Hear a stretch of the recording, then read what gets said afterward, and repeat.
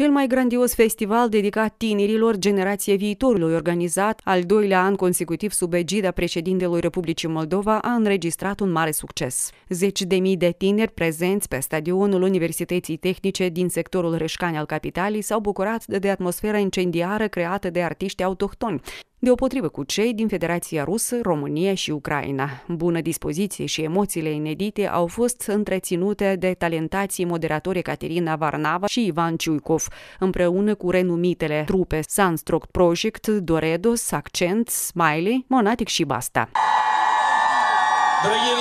Transmit sincere mulțumiri celor care au acceptat invitația mea, precum și tuturor celor care s-au implicat în organizarea acestui eveniment cu adevărat grandios. Împreună am reușit să transformăm această zi într-o sărbătoare a tinerilor.